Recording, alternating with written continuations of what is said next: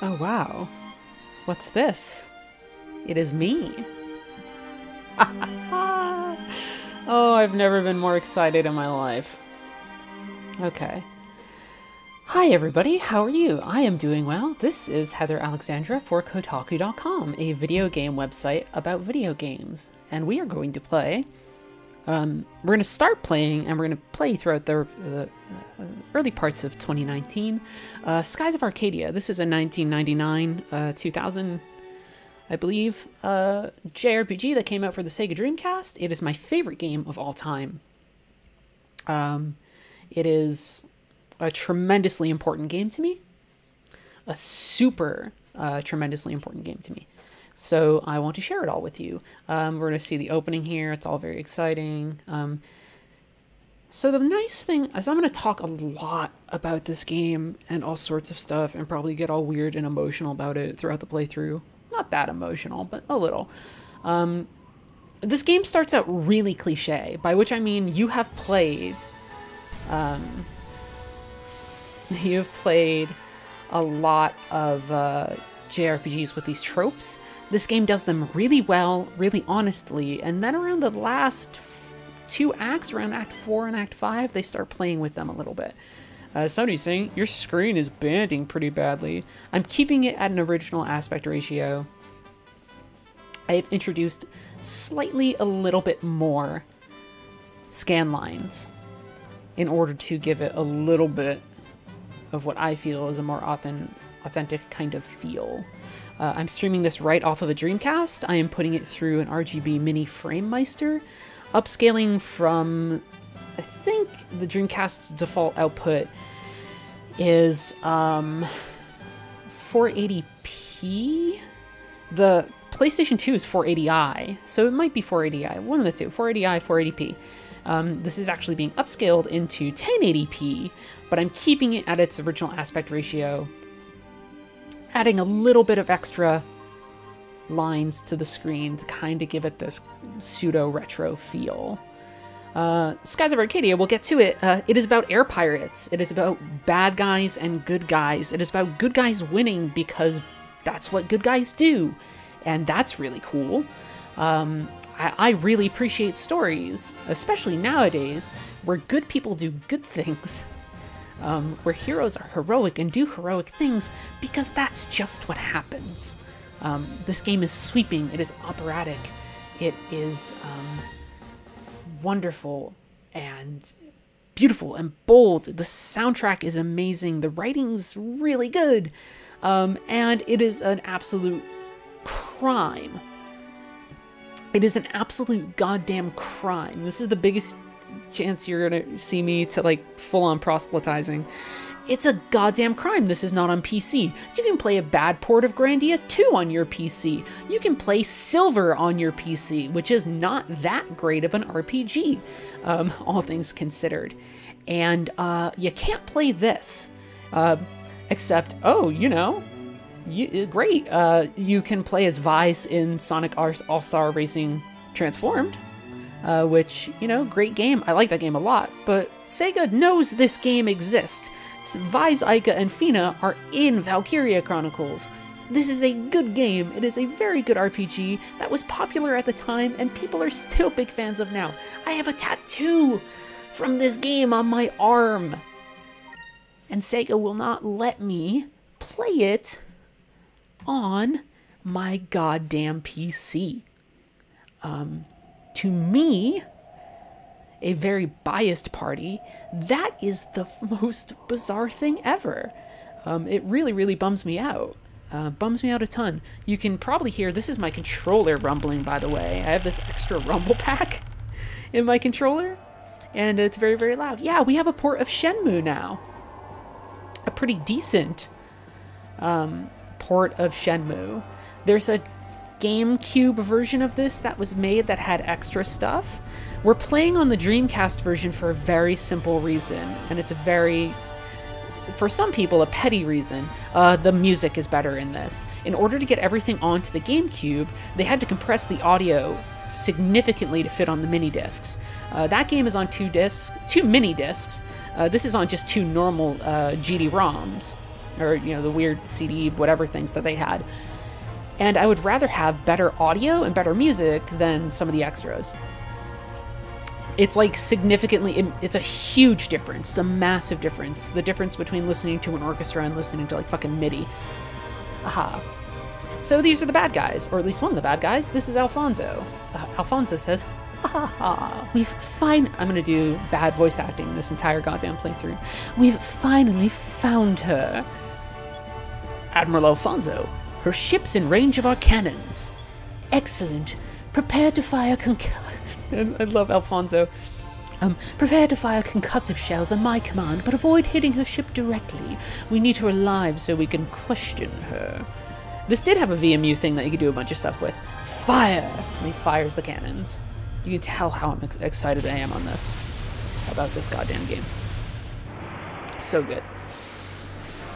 Uh, it starts off with bad guys messing with our white mage. Although we don't really know who she is yet. Uh, also, airships. Very, very good airships. Airship battles in this game. Very, very good.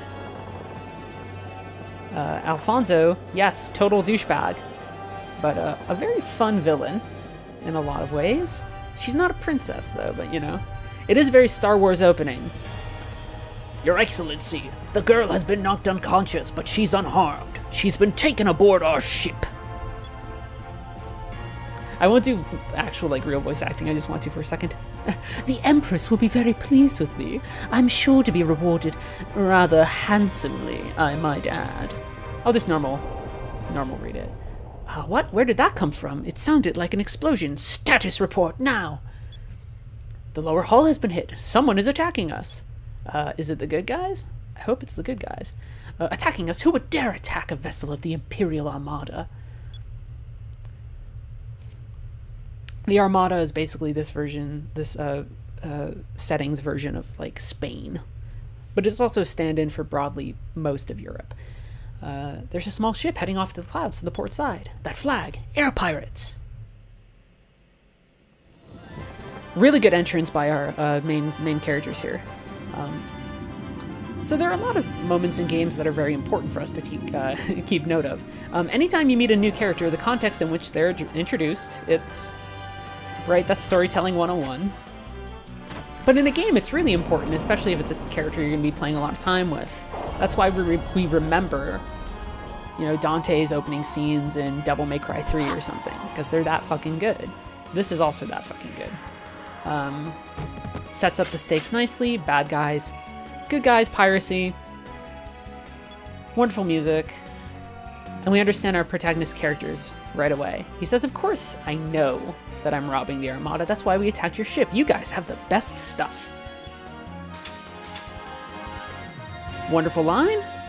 I'm Vyse of the Blue Rogues, and in a few minutes, I'll be, I'll be relieving you of all your valuables the bad guys, ah, you're all you're brave or stupid attacking us.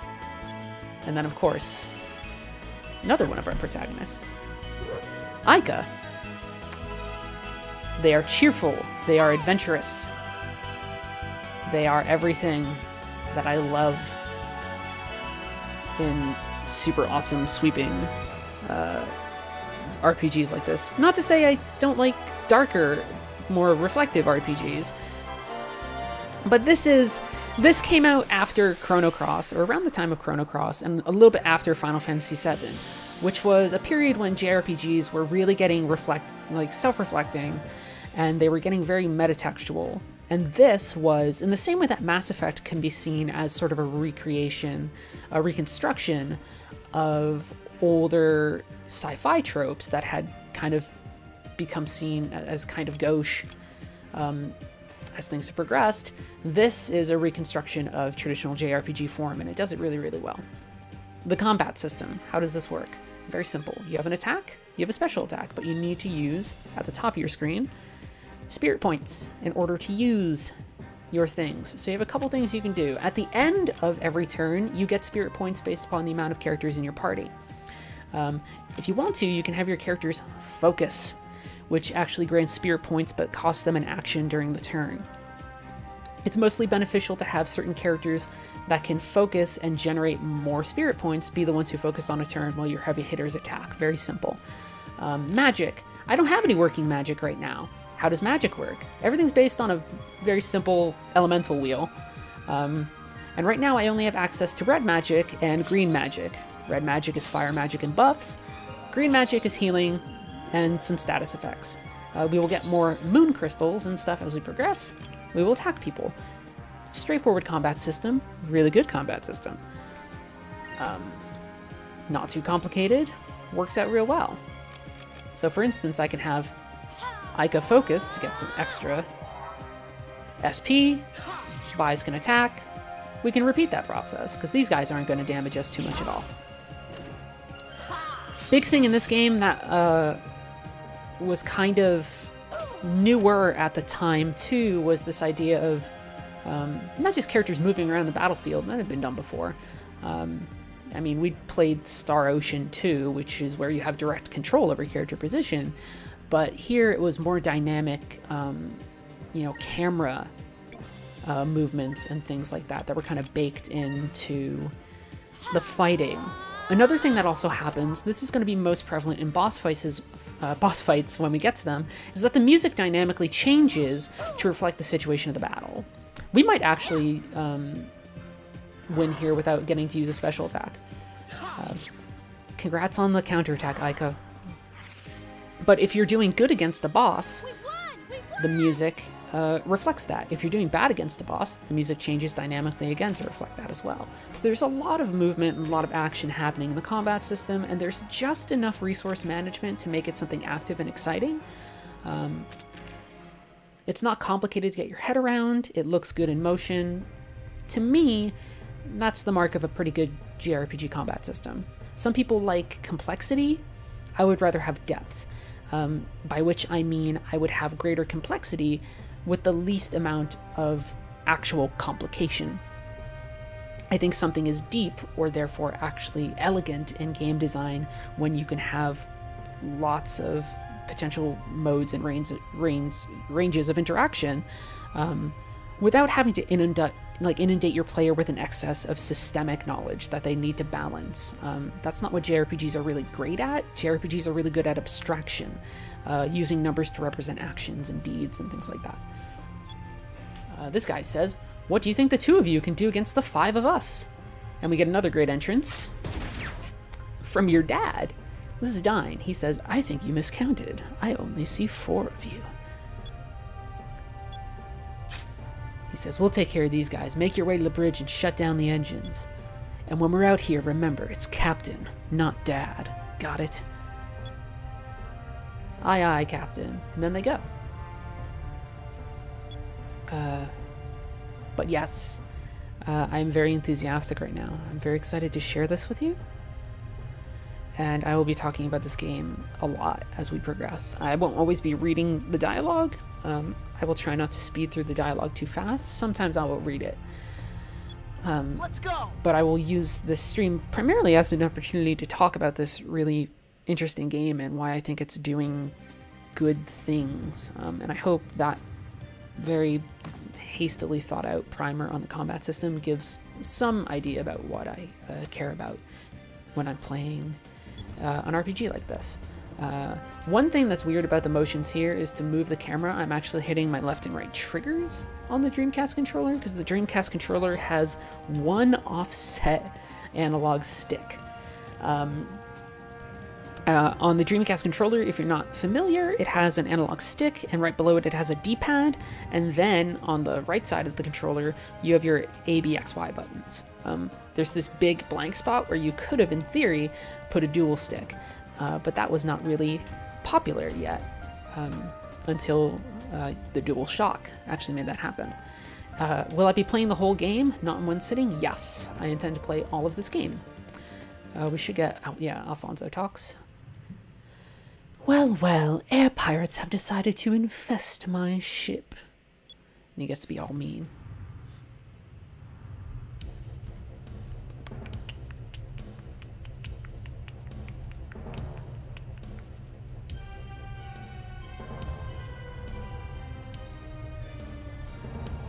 He's a total asshole. This game is dual discs on the Dreamcast, but each disc is pretty beefy, um, all things considered. Uh, and like I said, you're not compressing the audio to fit onto a mini disc like you were on the uh, GameCube. I'm Alfonso, cherished. I can't even talk today. Cherished son of Valua's most distinguished family and an admirable, admiral of the Imperial Armada. There's a lot of gameplay. I'm not going to be playing it all at once. Uh, normally, lowlifes such as yourself would never have the opportunity to bask in such greatness. Consider yourself fortunate. And then they ask, who's the girl? Um, it's darker because we're inside a ship and there are no real lights. Um, one thing I can do in the future streams is actually try to uh, increase the, the brightness on my end a little, but it's this section is a little dark at first. He says, dispose of them. We gotta fight some bad guys. It starts off dark so that they can toss in the red later.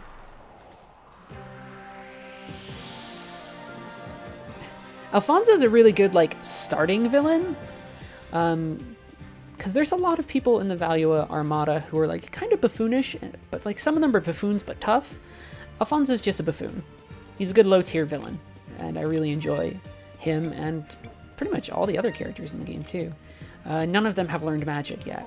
For the record, you can change your um, camera angle a little bit in combat, and then you can also change your element in combat. There ends up being, I believe, six elements altogether. So if you need to in a fight, you can switch to whatever element you need. You can also, um, you can also, you have to have that type of element equipped to get experience in magic um, at the end of a battle.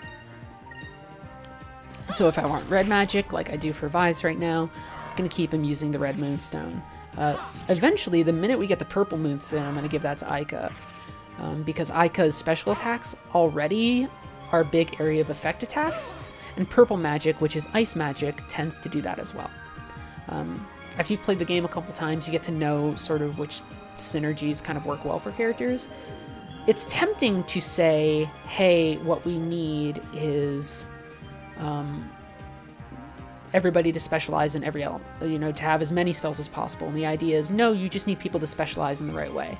Right. So there, so there's um, red, blue, yellow, green, purple, and silver is the color uh, split there. Fire, uh, red is fire magic and buffs. Blue is um, healing magic. Uh, or excuse me, um, green is healing magic. Blue is um, water magic, but mostly speed buffs. Uh, purple is ice and some status effects. Silver is death, which means reviving characters, but also a lot of instant death spells as well.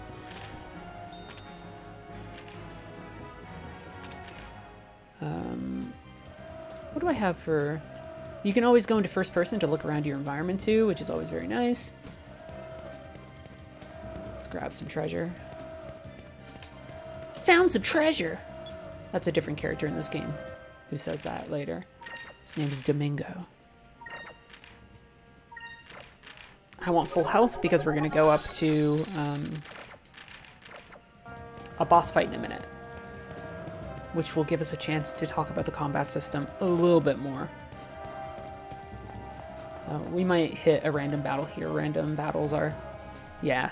And actually, one thing that people know about that I can hear but you probably can't, maybe you can, is when a random battle is going to happen on the Dreamcast. The Dreamcast is a very loud console, so I can hear the CD whirring up to load in the fight. And one thing you can do, or you can try to do, is stop moving to not give the disc a, a chance to load and you can avoid random battles that way. This game is notorious for its amount of random battles, especially in the overworld. It's massive, it's a ton. So much so that one of the big selling points for um, Skies of Arcadia Legends on the GameCube was they reduced the amount of um, random encounters. It was actually like a selling point. They were like, we have all this extra content. Also, you're not fighting loopers and shit as much. Um, that change never really affected the difficulty of the game, um, one way or the other. Maybe addressed some of the tedium, but I, I never found it too bad anyway. Um, it's just something you sort of adjust to fights fights are pretty quick experience is always welcome and if you're lucky an enemy will drop like a moonberry or something which you can use to unlock special abilities and that's really what you want um, plus i like the combat system also this is really nice because an rng battle beforehand meant that i unlocked enough magic you know experience on my green crystal for Aika to give me a healing spell just in case i I don't know, somehow manage to eat shit in the boss fight up ahead, which would be surprising, but is possible.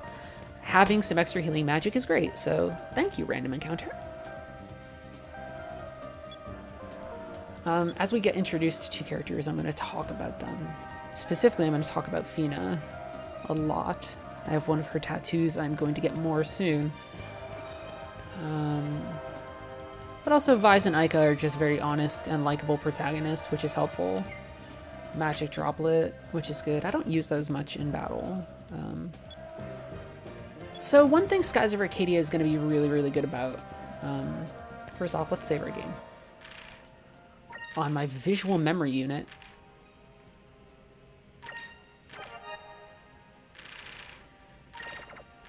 um, one thing Skies of Arcadia is going to be very, very good at is actually using 3D space and putting a lot of verticality into things. We're going to see this when we get to our first real dungeon outside of this, but you get to see a little bit of it here. Um, this is a game that actually uses uh, 3D space in, in ways that are interesting and makes your navigation around spaces kind of worthwhile. So how do we get to Alfonso? We go to the outside of the ship, we get this nice little camera angle. We climb our lateral uh, downward uh, instead of upwards, uh, sort of reverse Metal Gear Solid 3 style. Um, and we get a sense of these spaces as real spaces. Um, still sort of abstracted spaces, right? Because it's a video game. And I don't need to worry, I, you know, I don't need to do some sort of mini game where I have to worry about the wind or whatever like I would in a modern game. But um, it helps give you a sense of scale, it helps give you a sense of place.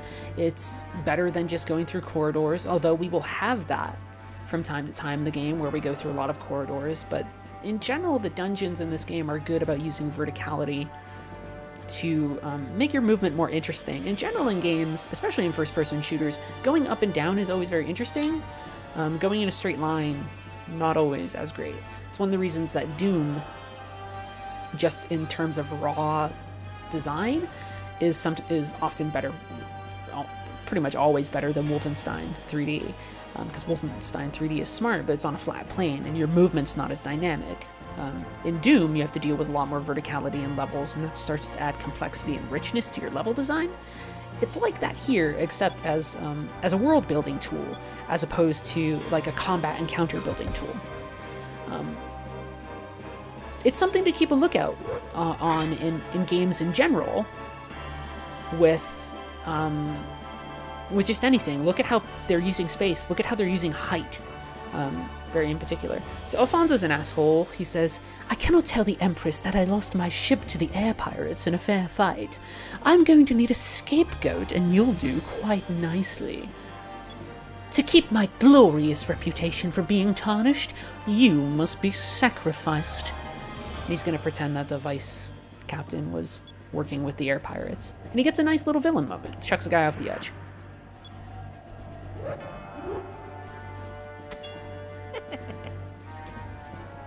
Um, our villains are good at being, or a lot of them are, are, are good at first at being like cheesy villains. We get more complexity in our narrative later on.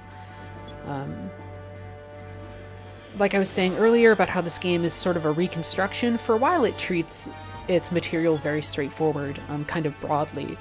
And then once it's established its world and let you sort of get to know characters, especially in the second half of the game, it starts to add a lot more complications um, that start to comment on the tropes that it was originally kind of embracing wholeheartedly. Um, this happens a lot with your final villains, Um, uh, there's a lot of uh, interesting stuff stuff going on. We will get there eventually. I hope my commentary is not annoying. I'm very excited. This is the first time I've ever streamed and I've been like nervous to talk. Um, because, and I'll tell you 100% honestly, every time I try and talk about this game, I do not feel I'm, I, I don't feel I am doing a good enough job. Um, I've never found the words to express the things that I think this game is doing, why this game is something I give a shit about. Um, but uh, I hope my enthusiasm covers for that. Um, this is Alf- uh, Alfonso's first personal war beast, uh, Antonio, I believe. Yeah, Antonio. It's our first boss. Our first boss fight. Um, really good stuff. We might get to hear some of the dynamic music here. We're gonna get to see some really good. Um, we're gonna get to see some really good combat animations and special attacks too. Get used to them. Um, you can listen to this entire soundtrack, by the way, if you search for it on um, if you search for it on Spotify. I found this out the other day. You can listen to that and a lot of really good Sega soundtracks, and I highly recommend that you do. Um, so we're to start off with some normal attacks. Uh, Aika has magic now, but we're going to focus with her because the thing that we're going to do to whittle down this boss pretty quick is we're going to use Vyse's first special ability, the ever reliable, ever useful Cutlass Fury. Wow, he started with Thunder Fury. It's super good that he was only targeting Vyse there, though, because that attacks on an arc. Um, uh, so if Aika was standing behind Vyse, for instance, that actually would have made my characters eat like a ton of damage. Um, the only downside about characters kind of moving autonomously on the battlefield is that there are times when attacks are based on positional things, um, and you can't like dodge it, right? You can't be like, hey, I positioned my characters this way to dodge it. It's kind of luck, um, which is one of the only real downsides to this combat system that I really perceive. Um, this boss was actually uh, in a segment that you got to play on the demo disc, which at some point I should show you the demo disc version of all of this because it's loaded. There's a whole story montage thing. There's an air battle. There's a ton of stuff. This is Cutlass Fury, though. It's fantastic. And uh, to be kind of good, we'll just use this Sacred Crystal on Vyse. If you have healing items, you might as well use them.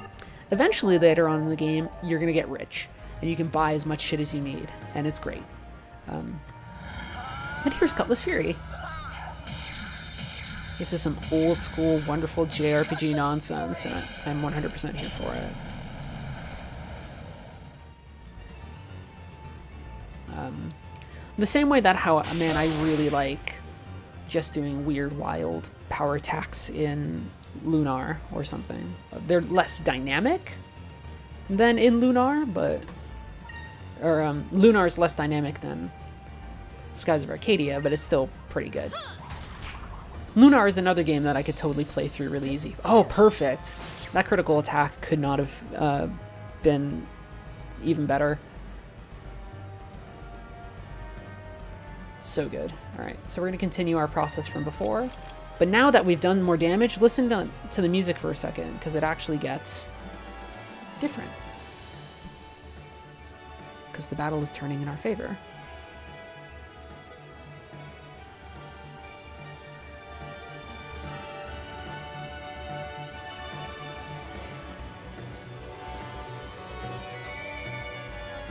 See, that's really good stuff. And if we were doing poorly, the game would have changed accordingly.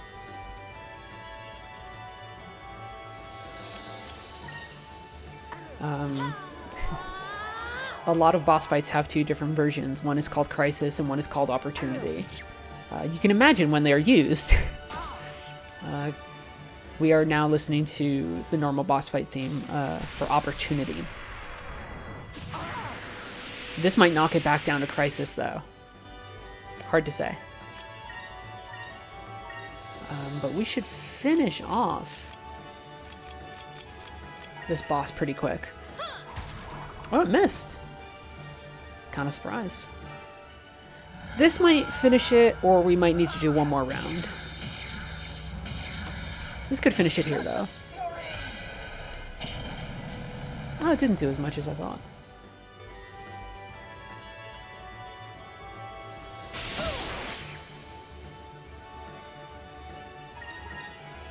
We're just gonna just burn it down.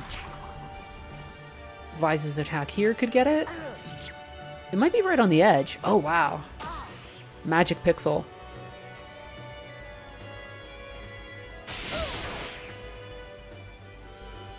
Here we go. That's the end of it. Oh, we finished with a critical. Could not have choreographed that better if it was my job. Could not have choreographed that better if it was my fucking job. I love boss fights in this game. They're really fun. Um, like I said, there's just... It is my job a little bit. um, there's just enough complexity to this system that I really enjoy. Moonberry, that's going to give us our, uh, our special attacks. You need to find moonberries in order to unlock more special attacks. We're going to give... Uh, we're going to unlock Aika's first one. Um, which uh, will be really, really great.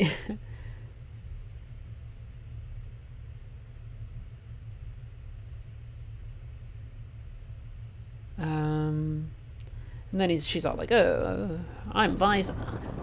I'm Vyse of the Blue Rogues. Come back here, Alfonso." He's like that type of deal.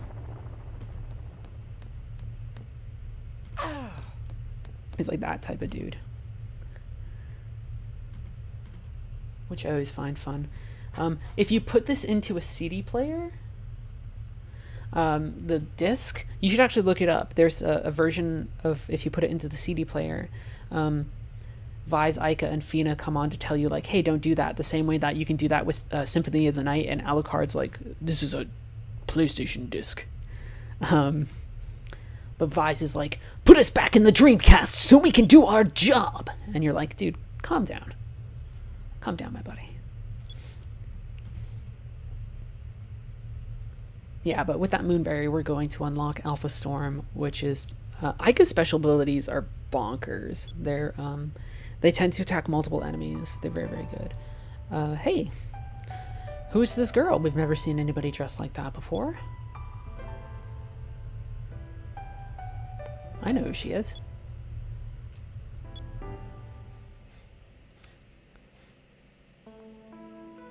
God, such good music. This place. Am I home? Here's where I'm going to say it. It's Fina. The Japanese audio drama says Fina. I'm not into it. It's Fina. Um, one of Aika's ability is to nullify... Well, it's to take half magic damage. She also has one that can nullify all um, instant magic spells. So like a lot of bosses will start using um, instant death spells, and you need to use Aika's ability to negate that, or they'll kill you right away. It's um, it's called Delta Shield. Uh, the alternate that you can use is there's another character you get in your party later called Gilder. He has an ability called Aura of Denial that does the same thing. Um, in case uh, you want to give Aika a free turn to use something else instead of just having her be like your defense magnet. Um, the game was smart smart enough to give you a uh, a character that um, gives you a, sort of a similar effect.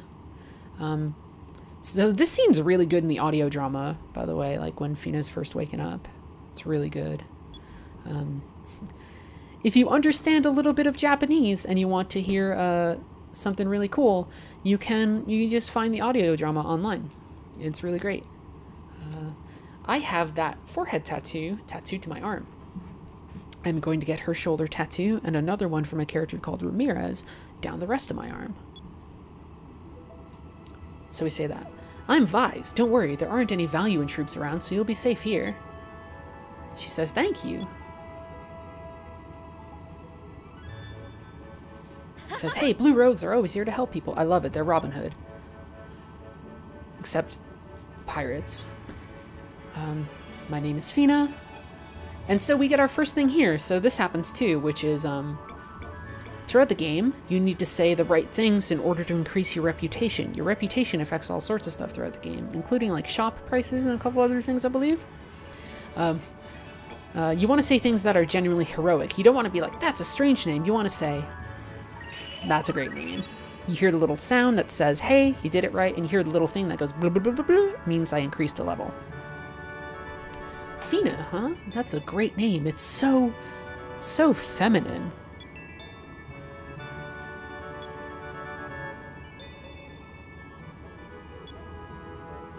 It's not a very good compliment.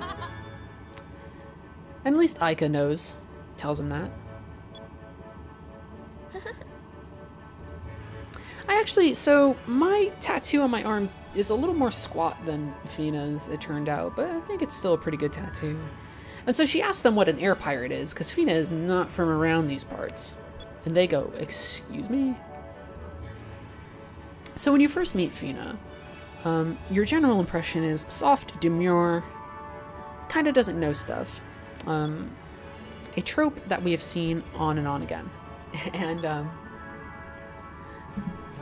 what happens very quickly is that you realize that um, Fina's status as outsider allows her to not just provide an entryway into the world so that we can get our lore dumps a little bit more naturally, although she is doing that. She's not an audience surrogate, but she's close.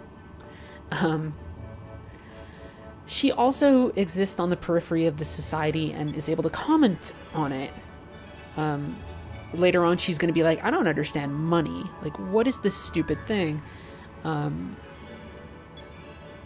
and so one of Fina's roles ends up being surprisingly, or at least somewhat surprisingly, given the fact that maybe you wouldn't expect it from kind of the tropey version of the character that she could have been, she ends up being somebody who's very critical of like power structures, which is one of the things I really like about her as a character.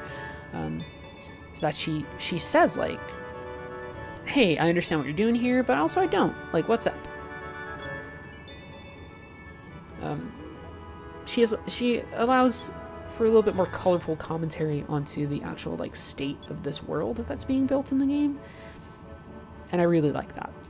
Um, it'd be very easy to just have her be a mysterious white magey character but that's not always the case and she starts to grow um, which is really good. She also if you do it properly which i might not be able to do because i have I, I might not be able to download the thing i need on my dreamcast anymore she also gets the strongest weapon in the game. Vyse does not get the strongest weapon in the game. Fina does um, which is really really good. Um, I love the idea of a game that first builds up your tropes and then starts to subvert them.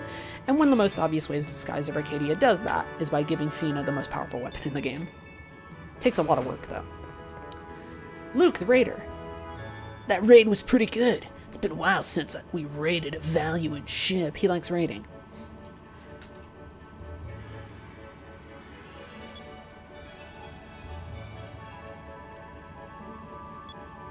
Oh, Cupil.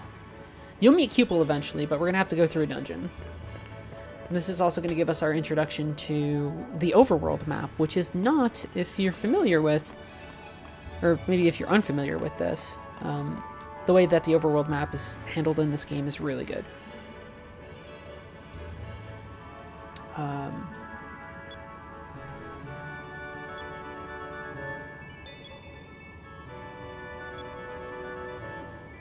We're on board. It's not dad, it's captain. Got it? I, am not I'm not going to read all the uh, dialogue, unfortunately. Moobot, I, I, should adjust the timer on that because it's being really aggressive on that. Like, we got an RGB minifoker.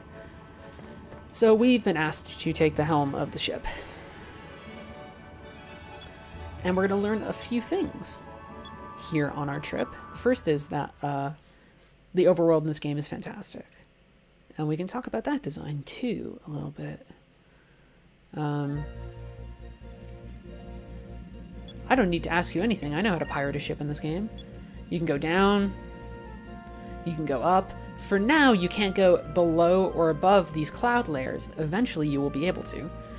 Um, you can't go through those. Eventually, you will be able to. Your ships will upgrade in ways that are um, pretty wild. It's very gated. Look at that random encounter. Um, but as you as you get access to different ships, as you upgrade your ship, suddenly the world expands. This is ultimately a game about exploration. Um, one thing I'm kind of glad that it doesn't end up being as much of, though, is a game about, like, colonization. Um, it's not perfect, but the way that Vyse, Aika, and everybody else will go about approaching new worlds and new spaces and new people um, is, like, pretty good. And then you get Valua, who is bad. Um, in that sort of reductive anime villain way, which I guess means that the game comments on colonial stuff a little bit, but you know. Uh, one thing we want to know, too, is that throughout the world you're going to find discoveries. The more discoveries you find, uh, the more money you can make, the more um, uh, your pirate rank will increase. Um, each one of these has information on it. It's great. Um, your overworld is filled with like a hundred of these different hidden discoveries that you need to find. Some of them are obvious, some of them are not. Um, here we just found a grave for an unknown pirate. Um, and you go to the guild and you can make some money off of that. One of the big things about this game world that I like is discoveries as a sort of gameplay system encourage you to really explore and engage with the richness of the world. And give a sense that the world is this um, kind of new place to explore. I'm picking up some fish just because I can. Um, I remember where a lot of discoveries are, but it's uh, going to be a little hard on my brain um,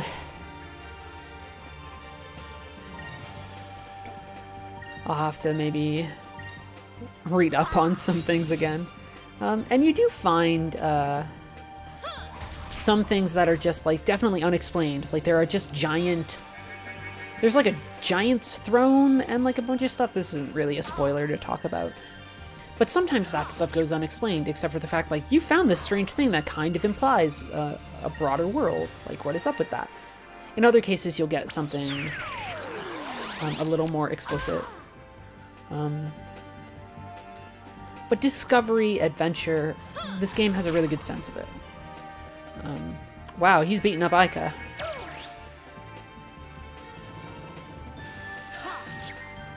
You saw before in our first fight, too, a thing called a looper. They tend to run as fast as you can. They're kind of like metal slimes um, from Dragon Quest, where they give a lot of experience, but they dodge attacks. Instead of like being tough, they dodge attacks. And um, if you see them, you want to take them out. One thing I'm actually kind of surprised by is the amount of um, how much the frame rate actually slows down a little bit on this uh, on this. I'm just kind of flying around to give it a test. I also think that there are some other uh, uh, things for us to find here, but I might be wrong. How do you kill the looper? You're lucky, or magic damage. It tends to not avoid magic damage, so once you have spells, you can start taking out loopers. Um, also, the higher your level, the better your accuracy is going to be anyway. Um, so your stats either need to be su sufficient to like beat the dice roll against the looper, or you just have to be like really lucky.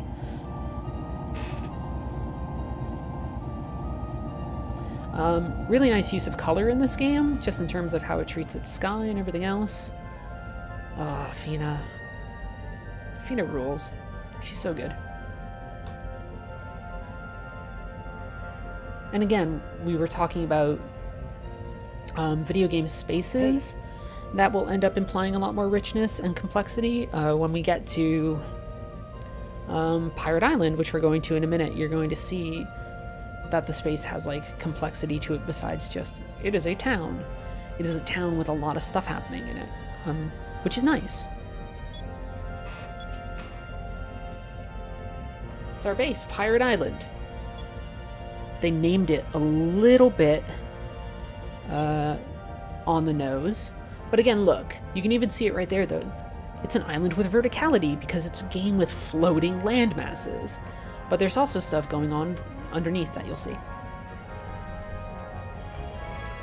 Um, I don't know. I think this is an important game for people who are really interested in JRPGs to see what can happen when you kind of just like stick to the form and then experiment with like your fringes. Um, or when you build something up to kind of experiment with it afterwards. I think a lot of times games want to strike you very quickly with complex, like, oh man, we're so adult and complex. And honestly, sometimes you can get the most complexity by treating a thing earnestly, um, exploring it earnestly, and then, um, and then adding in your complications. Um, also creates a mood that sets this like one of the things that sets this game apart that I find very good about it is that it's just like, hey, you know what's nice? A nice game to play like this. Um, listen to that rumble pack. Oh boy. What was was that the the Rez Trance Vibrator?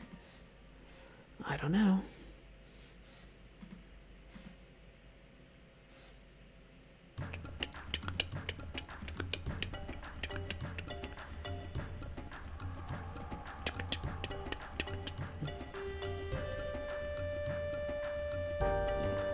Weapons, armor, gold. Now this is a great catch. I love treasure.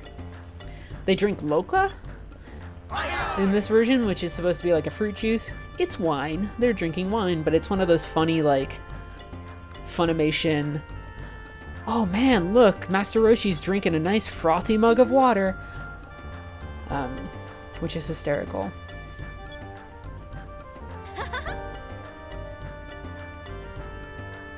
I love it. I am definitely not going to read out all the dialogue, but you know. Code Veronica is not the best Resident Evil. It is a very good Resident Evil, though. I don't know if it's the best Resident Evil. My favorite Resident Evil. Best and favorite are different things, for the record. This is my favorite game. I don't think this is anywhere close to being the best game, but you understand what I mean. I think that happens with Resident Evil as well. My favorite Resident Evil is Resident Evil 3. I don't think it's the best Resident Evil necessarily, but it is my favorite.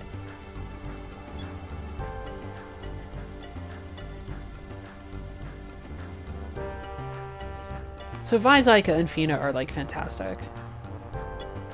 Um, I love them. And one thing we will see later on, and I fully uh, think this is the case, and I will make an argument for that case later on in the uh, playthrough. Um, I think eventually they get to what is essentially a, the, one of the closest ways that a game has ever gotten to examining just like a very open um, friendship that edges into something more complicated um, insofar as like it tends to skirt the lines of polyamory which is interesting Um, these are people who just care about each other, and that's great. I really like that in games.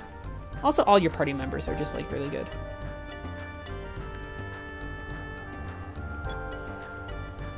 Our first party member we're gonna get after Fina is just, like... He's another character who starts off as a very clear cliche, and then whose story gets way more complicated.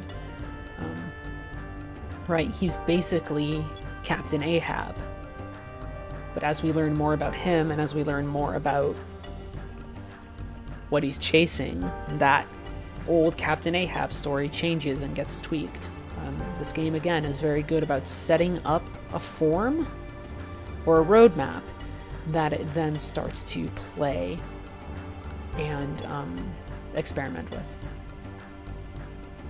which I think is really good. She's never been to a tavern. She doesn't know what Loqua is. Oh, we'll get to that scene, Positive Touch. Box of feathers.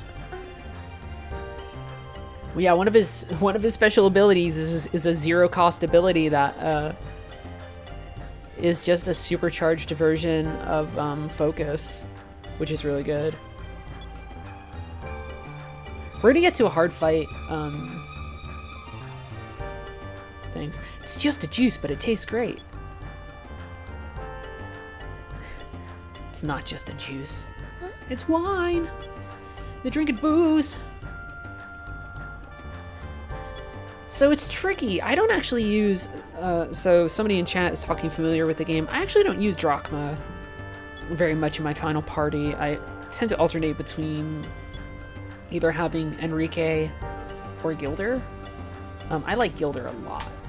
Um, but you know, it's probably. I think Gilder is probably the like least optimal character that you could possibly have in your final party. So Enrique tends to be the one, because he also has Justice Shield, which is just really good.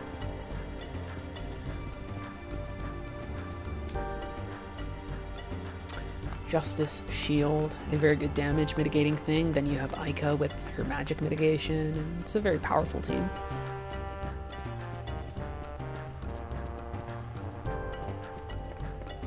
Let's talk to Dad. So one thing I like is something that Fina is going to do up here.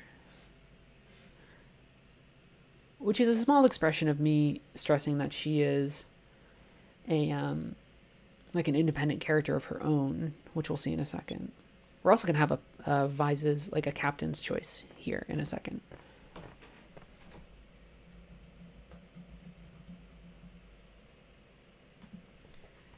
Because he's going to want to talk to Fina and be like, what's your deal? Why were they after you?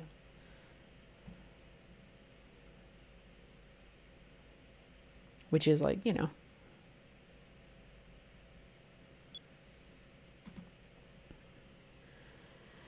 Oh, God, every character in this game is, is sincere and, and enthusiastic in their own ways.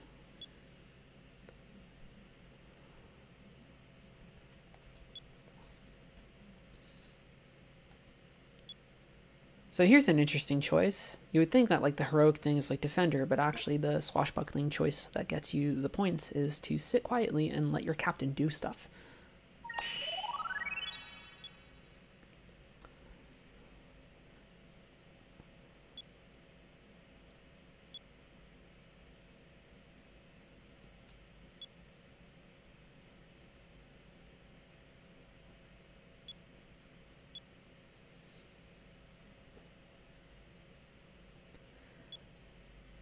So one thing I like about Fina here, though, is that she says, very honestly and very firmly, I can't tell you. Um, there's a version of this where she just like is like, here, oh, here's my story right away, and she's like, no, she stands firm, and I like it. It implies um, independence, um, where I think other games maybe might not have done it. Right? They might have taken the easy way out.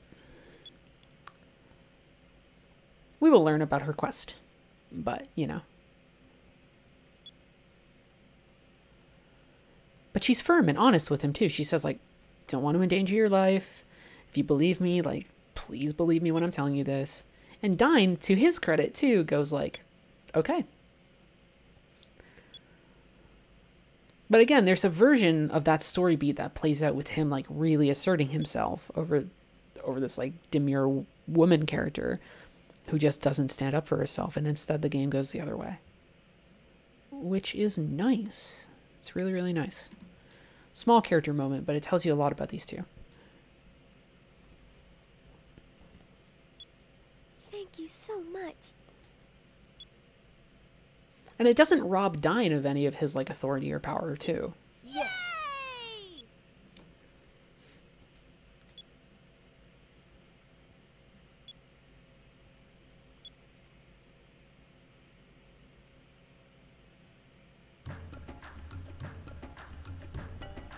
Good stuff.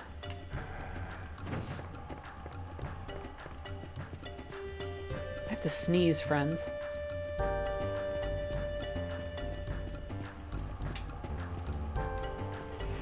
Phew. There it is. Snake eater. Someday you go through the rain. Some days you feed on a tree frog. Anytime I climb a ladder in a game, that plays in my head. It's, um. It's honestly kind of a problem. How do I get out of here again? I forget. Yeah, this definitely has like a Saturday morning cartoon feel. And then eventually you get to the season that's like kind of when it grows its like teeth a little and you're like, "Oh, cool." Like it starts off very much like, "Hey, it's the pirate show." And then then they're like, "Oh, what's all this?" I don't know, it's good. And it treats its characters seriously even if it treats its setting very broad. It would be so so so easy to make everything broad and trite and silly, and instead, I think the game really does show a lot of care. So,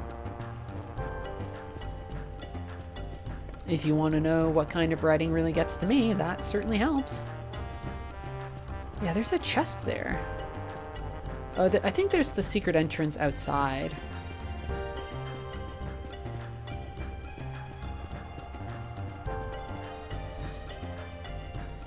I'm gonna get lost. Doesn't matter, the music in this game is so good that no matter where you are, it's like so good. Is it right just past where Dyne is? Oh, it is. I missed the walkway. You can get a cham here later. Like around here or so. But I don't have access to chams yet. Because Fina's not technically in my party yet.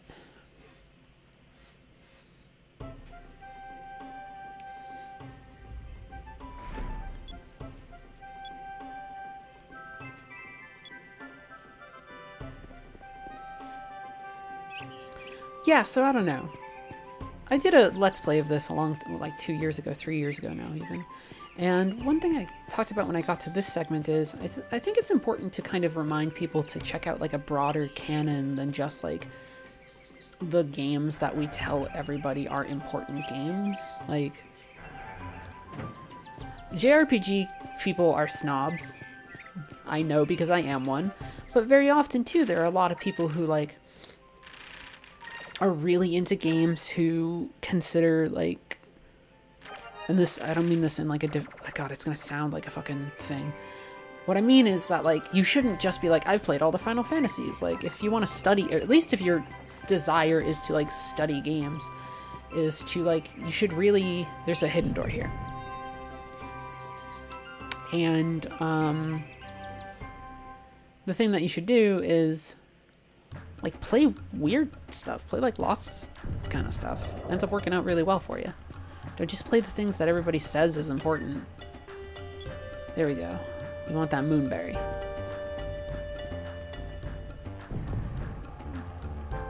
The peeking in the window scene is optional. I don't have to do it. For those of you who are curious about what's happening in chat if you go up over here to Aika's house and examine this, Vyse is like, what the hell is this thing? He's confused by it. It's blocking a hole. And you can see Aika with her hair down. Shocking.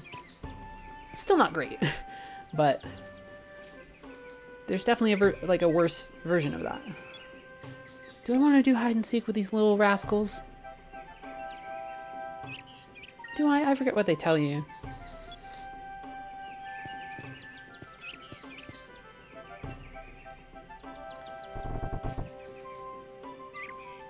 It's like where people train and fight. Yeah, there's definitely... So I, I'm not saying a peeping scene is a good thing. Um, I don't think they are. But there's definitely a lesser game that turns that into something lewd. Especially a modern game that could turn that into something particularly lewd.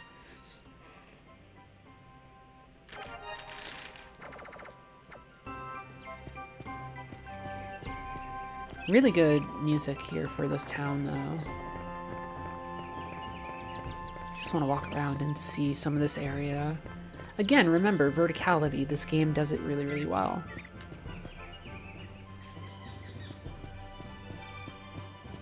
There's a huge place that we're going to go up to in a story sequence very quickly. We'll go really high up. You'll see. First, let's talk to our mom. Only downside, the only thing I don't like about Vyse's mom is that sh she's only ever called Vyse's mom. I don't think you ever learn her name. I've played this game like 14 times or something, and it's always Vyse's mother. Give a lady a name, game. You're pretty good about giving everybody else a, a nice little bit of agency.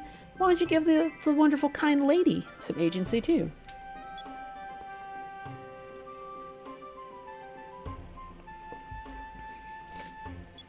That is the most nitpicky of complaints I've ever made, but you know.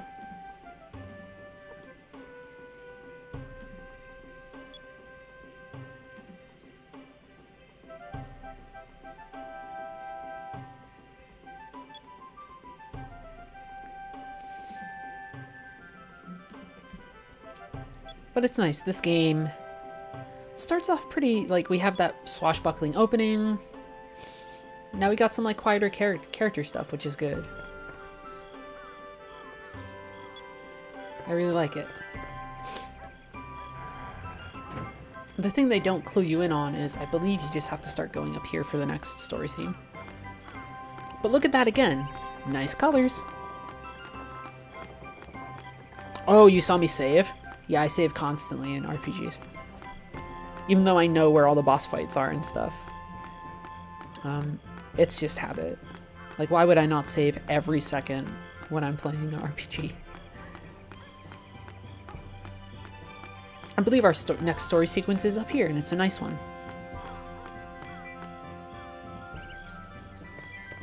The game doesn't really tell you, though.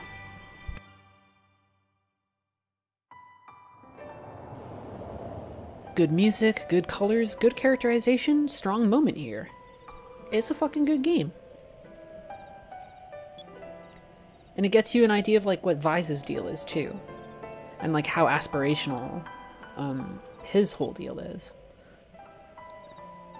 He says, I want to know what's beyond the sunset.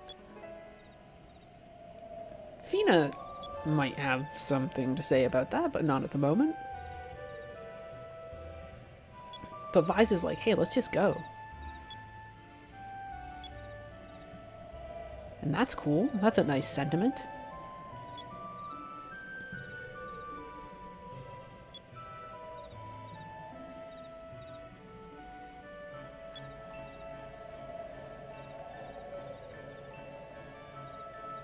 Really honest. I don't know. I appreciate that honesty in ways that I can't really express. It's really nice. It's nice to have characters who do good things and they do them for honest reasons. Um, it's just really nice. I also like the character expressions on all these characters. Like, there's only like a handful of faces for each of them, but they work out really well. Oh yeah, by the way, Vyse's eye patch is telescopic. The more you know. And now we get our first opening story quest, which is like, hey, a moonstone fell, that's valuable, let's go. Which again, really good stuff. And we get our word, world building stuff. Rocks fall from the moon. There are multiple different moons in Arcadia. We will get to see a lot of them.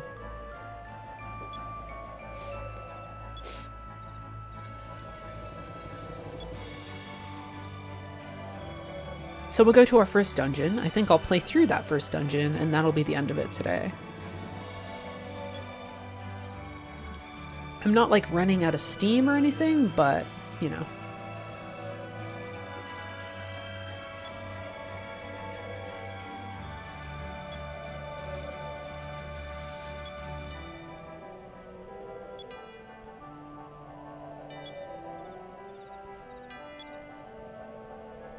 They're so good. All three of them. Good, honest people.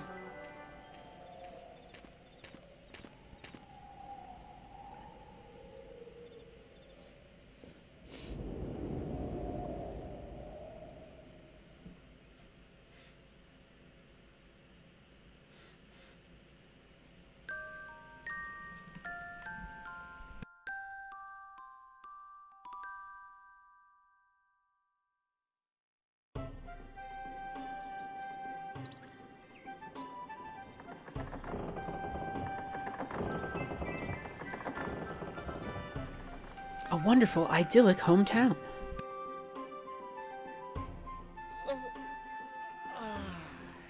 I would live the shit out of a log cabin on a floating island.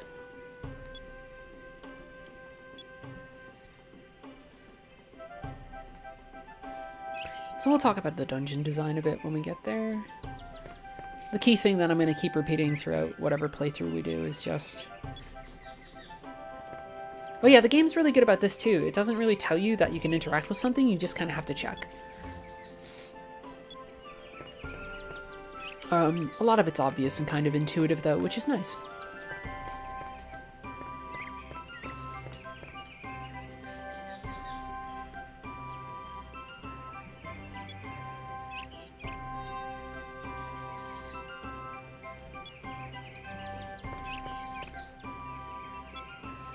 He's gonna give me, I think, the purple moonstone.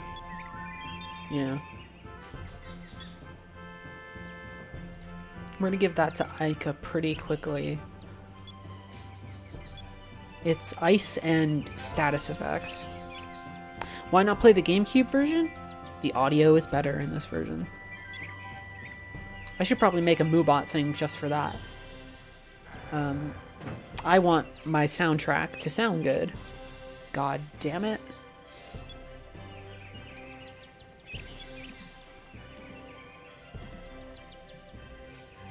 Like, it better.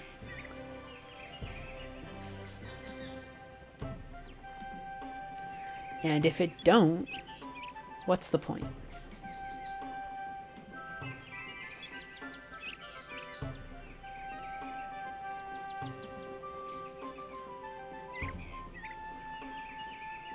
So we're gonna go to Moonstone Island.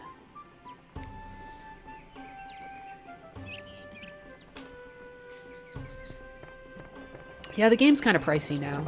Legends is also pricey. Legends I should have brought back with so I was just with my family on vacation and I should have grabbed Legends. Do I have it here? I swear to Christ. One second.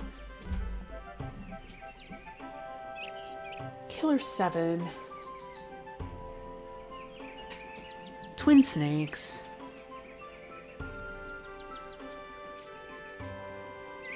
Think it's back at my at my other uh with my family. That's bullshit.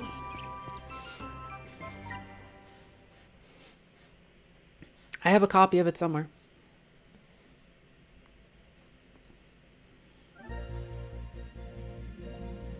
The Dreamcast was super easy to play pirated games on. It was easy to uh, play emulated stuff on too. Like, the Bleemcast was a thing. Let's go to Shrine Island. There was an officially licensed emulator that uh, played um, that played Metal Gear Solid. Hey Ava, I see you in chat. Uh, th some of those scan lines are actually um, slightly artificially added by me on my FrameMeister. It actually has a setting to put some extra scan lines if you want them. I, I've spaced out my lines a little bit more than I need to. A looper. We'll try some magic attack first. Is it gonna run? No, it's gonna use magic on me. I'm surprised it didn't run. This might... If Aika hits it, it'll be a miracle. You should see... If you look on my Twitter right now, you can see what the VMU shows. Oh, yeah, it did not take much damage there. It's gonna run? It's attacking. Do I get a counterattack? Because that would kill it instantly. Hey, we got it, actually. So we're gonna get some experience here. Looper battles are weird. Oh, Moobot just said it. So that should get us a level up for Aika, certainly. Uh, loopers also give a lot of magic experience, is their big thing. So, there we go. So you lose, or um, you gain magic for everybody based upon what crystals you have. The more people are using the same crystal, the more experience in that thing you get. But also, if you're just if your character is specifically carrying that type of crystal, they will get experience too. So the reason that Aika even got um, Red Moonstone experience there is because Vyse was carrying a red Red Moonstone. Some people tell me that they prefer Grandia 2's combat to this. I don't know if I agree with that.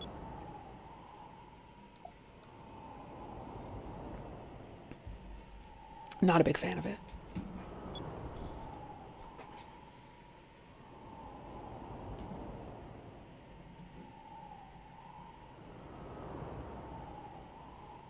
Keep on going, keep on going.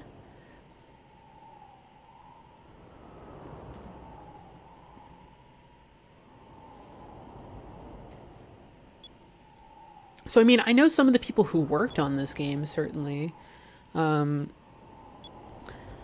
like, one of the main writers and producers is this fellow named Shuntaro Tanaka, who, to my understanding, is no longer with Sega. Um, there is an apocryphal story that when he saw the Rogues Landing level in Sonic All Star Racing Transform, it made him cry because it was that uh, beautiful to him. There's also another designer on this game called Reiko Kodama, who I think Tim knows. Um, she's worked on things like Phantasy Star and a couple other things as well. Um, I'm saving again. And then it's like Sega and Overworks, but I don't know all the specifics. I'm trying to look up some of it now. Who still still owns the right to this game? It has to be Sega because they've used these characters in the past in, mul- in multiple uh, versions of their games. You can play as Vyse in Sonic All Star Racing Transformed. You can uh, Vyse, Aika, and Fina are characters in uh, the first Valkyria Chronicles.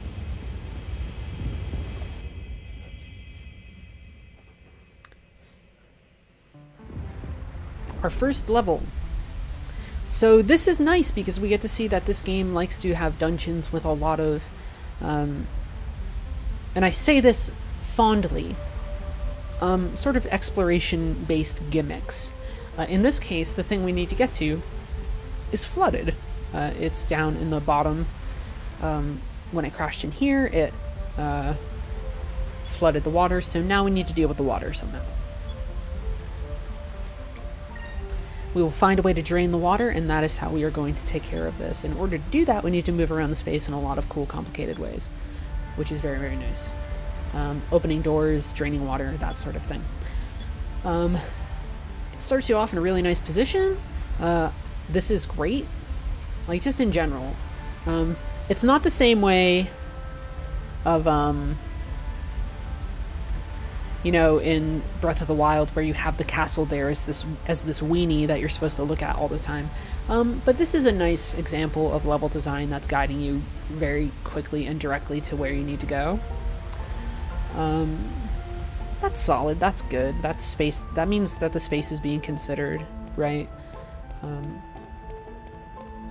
remember too that you know, this is a game that's coming out when we're still kind of experimenting in a lot of ways with 3D space. Um, not in the sense that we're still getting to know it like we were with the PlayStation Random Encounter coming up, uh, with the PlayStation or the um, Nintendo 64, but we're getting into that period of this and the PlayStation 2 where we start to actually see what we can do with 3D space and 3D spatial design in ways that we weren't really doing on those earlier consoles.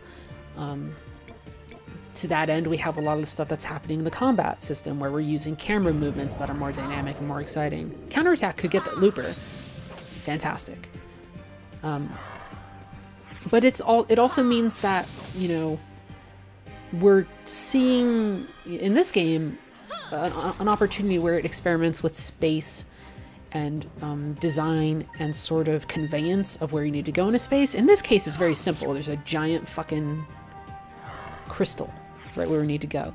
Um, but, you know, it's going to get more complicated uh, from there on. Um, obviously, this is not stuff that had not been done in games before this generation. Um, otherwise, Zelda's uh, dungeon design, Ocarina of Time's dungeon design, uh, wouldn't occasionally be so great, um, even though sometimes it's not great. uh, Shadow Temple, I'm looking at you. Um, but this is the start of a game, you know, alongside a lot of other games, where we're starting to see um, more complicated spaces. Um, instead of just a dungeon, we have a dungeon with more mechanisms, and we have um, a dungeon with certain complexities and gimmicks, things that transform. We're going to go around the outside of the dungeon. We're going to go underneath the dungeon, into the sky area underneath the dungeon. Um, a lot of stuff.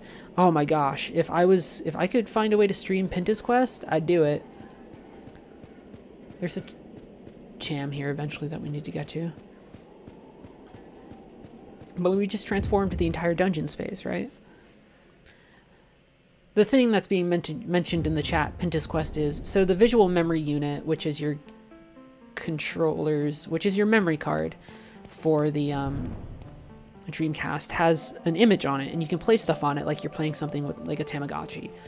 Um, and in this case, Pinta's Quest is a thing where you can send in uh, send a character of your crew that you eventually get once you have your own ship and you can send them on adventures and then bring them back into your game and they will sometimes give you items um, including things like moonberries which is kind of a big deal um, this this uh, this allotment of characters here has reminded me that I need to unlock Alpha Storm on Aika in a second because I have two moonberries.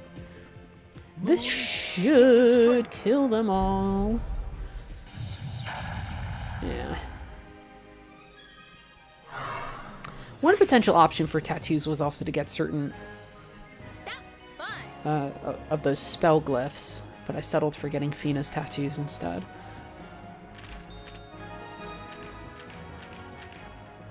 Curia crystal, very nice. Um, so, special abilities, super moves. Alpha Storm, great. Uh, Delta Shield, even better. Those are going to be very, very useful for us. Um, Vyse doesn't get like a very useful special ability until he gets Rain of Swords again, but I think you still have to get like that one where he has the pirate guy help him. But Delta Shield is a fantastic skill, and you'll see why in a second. Random encounter coming up.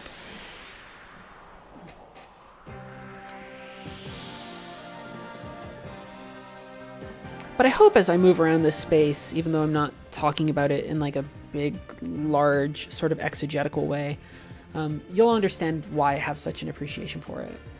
Um, it's adding complexity in a space that did not necessarily have to be complex. Um, and instead, it makes you. So, if I can quote Mark Brown for a second Hi, my name is Mark. This is Boss Keys. Um, Mark, whose opinions I don't always agree with, but I tend to agree with very often, um, one of the things that he stresses in Boss Keys is this, this idea of navigating a space and then having to re-navigate a space, which is not an observation that you know is uniquely his, but the observation there, quite correctly, is that um, learning a space and then getting to re you know sort of experience it in different contexts and um, sort of really mapping out your way through a space is a way to engage with that space um, with a little bit more richness and a little bit more complexity than if I was just running down a tunnel, right? Um, that's one of the things that makes, at least for Mark, when he's talking about it, certain Zelda dungeons more interesting than others. They kind of make you go back and around and loop and memorize things. We never get anything quite that complex in Skies of Arcadia. We have a couple things that come really close. There's a dungeon later on where there's even more water. Uh, it's a very complicated dungeon. Uh, one of the reasons I catch, catch fish too is so I can heal myself, but they don't give me a lot. Um, in the meantime, we can use uh, Micah's magic. Um, but sort of learning how to navigate space and then re-navigate space is important. Um, and I think Skies of Arcadia gets that. And, like, it does a pretty good job with it.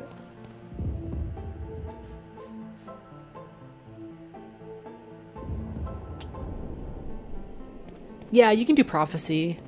You can do Blue Rogues. Hold on one second, I have a phone call. Hello?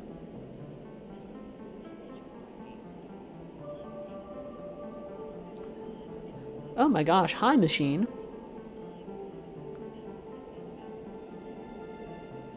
My order is ready? I was told that my order would be ready on Wednesday. So it looks like I'm going to the pharmacy later. So here we go. Uh, first off, a special uh, random encounter coming. Um, but also, hey, uh, look at that, we're back in an outside space. And also, that space is vaguely contiguous from navigating the world map and then going into the battle map, which is great. Um, some games would have probably made you go into some kind of abstract space instead. We don't want that. We want something that actually um, kind of implies a solid real world. And in that case, that means, hey, this world kind of persist from when you're exploring it in the world map to when you're in battle. Uh, I probably shouldn't be using red magic against all these blue magic clowns. Should probably switch to something else, but you know, whatever. Um, so this is tricky, because I need to position Aika properly. And this will probably be my best bet. So this is Alpha Storm.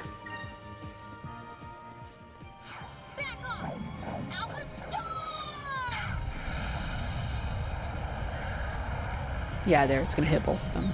Uh, it's great for getting through dungeons. Funny how that works. Funny how the freaking skills that are given to you throughout uh, the distribution of your party members all serve really good functions. Vyse is a good uh, boss buster. Aika is good for trash mobs. It's useful. There is a character who fights with a rapier. His name is uh, his name is Enrique.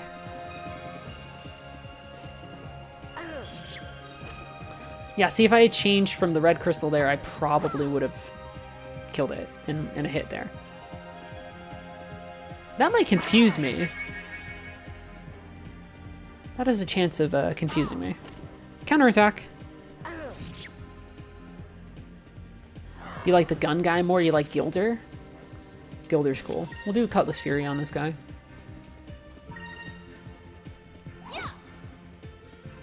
For those of you who are maybe not around to see it when we used it on the first boss.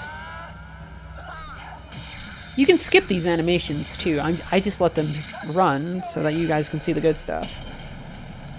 And uh, it's the good stuff. To quote my friend uh, Tim Rogers, oh yeah. Yeah, that's the good stuff. That right there. Here in Daddy's Bingo.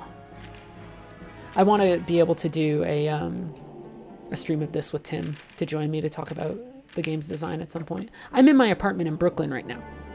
I'm not at uh, our offices in Manhattan. Oh, uh, no, we're gonna. Don't worry, we're gonna talk about Skies of Arcadia. Yeah. I'm fairly certain he knows Reiko Kodama, which means that I might ask Tim to help me get in touch with her to ask her questions about Skies of Arcadia. but look at that, even more depth and verticality.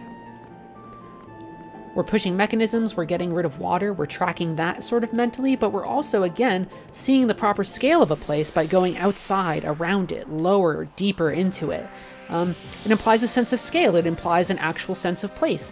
It gives us a sense that we are dealing with a place that has a sort of internally consistent architecture, which is just fantastic, right? That's what we want. Um, we want that stuff in games all the time. I didn't mean to attack the looper. Oh well. Yeah, I also so I one time I looked into trying to figure out what happened to Shuntaro Tanaka, and he's not at Sega, but he's somewhere, and just getting in touch with Shuntaro Tanaka would be like, it's doable. I just need to sit down and do the goddamn journalism. um, which I can. But I have an easier line, at least initially, to talk to, um, I would hope, um, Reiko Kodama.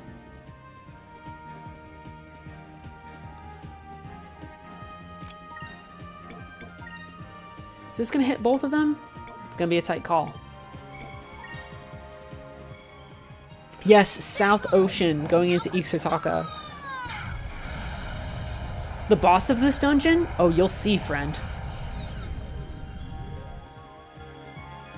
Critical hit. At least it woke me up.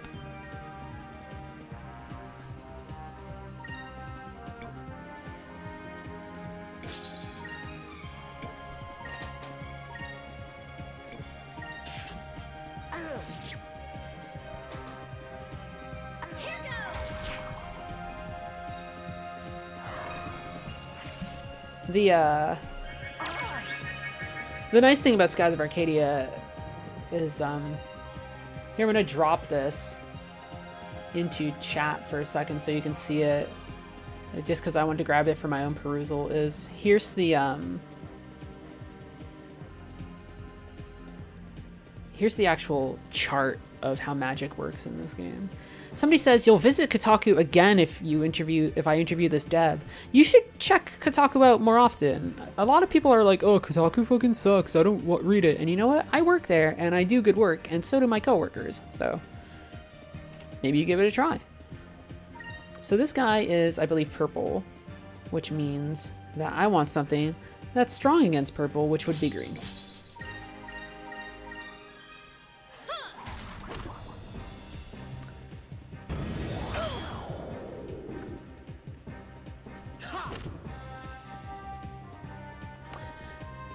I should use a special attack there, but I don't think I need to here. That might kill it. You know, I tell people, so like I...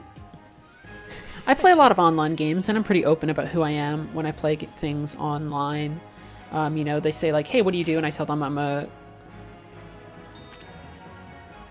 Um, you know, I tell them I'm a journalist. I tell them I work for work for Kotaku, and sometimes people will say like, "Hey, I don't like that site," and I say, "Well, maybe try giving it another go because it's not 2009 or whatever thing that made you mad. And you should just go for it. There is good journalism out there, not just from us. There is good journalism out there.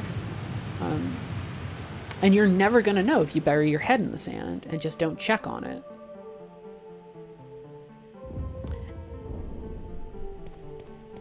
Not to say that you're burying your head in the sand, I'm talking generally.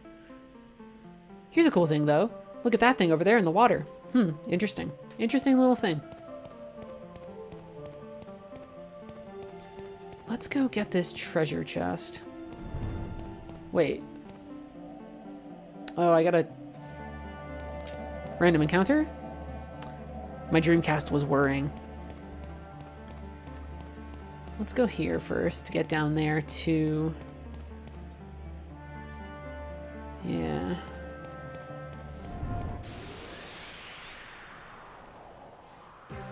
No, I don't think he's killing that. I don't think he's killing the ecosystem of the island.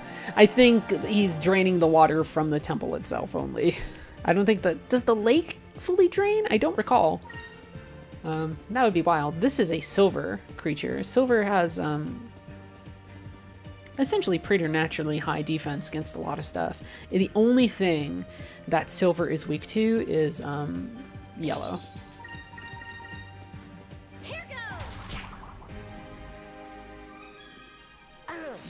So we're just gonna fight this thing. Whoa! Hitting me real hard there, buddy. God, I don't have enough for Cutlass Fury right now. I'm so used to having my characters at a high enough level that they can just Cutlass Fury constantly. Can't happen.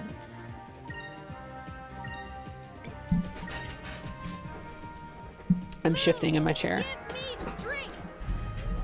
Um, one thing that I do not like about this game, though, uh, is um, if your character is knocked unconscious, they do not gain experience. It is a uh, heartbreaking state of affairs. So you want to keep your characters alive as much as possible. Somebody named their dog Vice? That's great.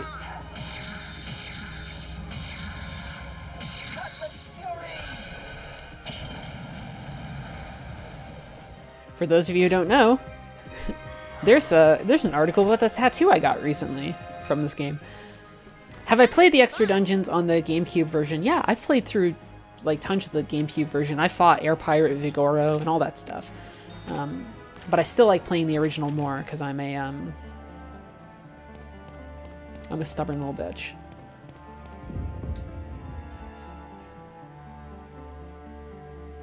Fifty percent revive, Ryzan. Yeah, it's maybe not the best. So we gotta head down here again.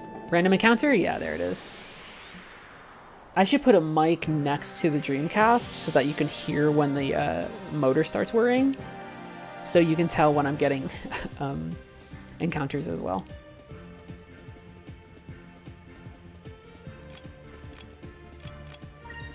I'm just going to level up until we can have that first turn Alpha Storm.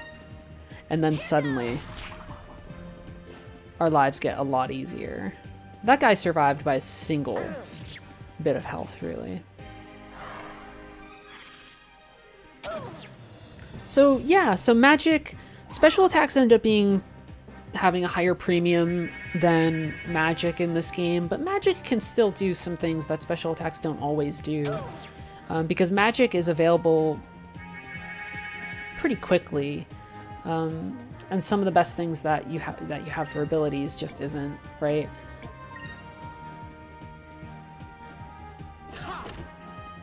Oh, it defended. It ran? Fuck you.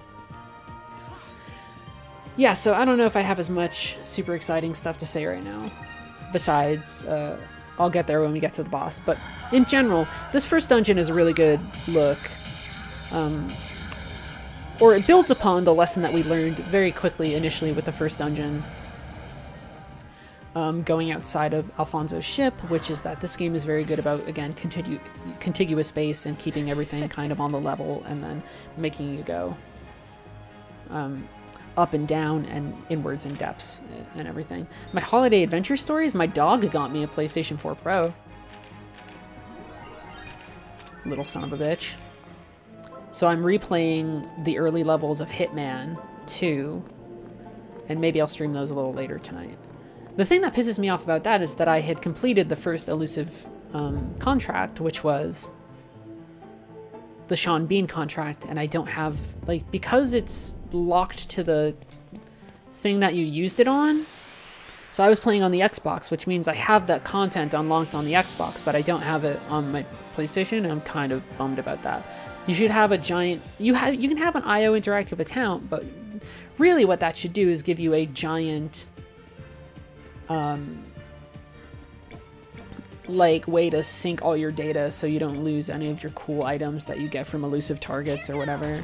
But hey, that's probably a lot of work. Oh god, his critical attacks are fantastic. Alright, Aika. Let's go, girl.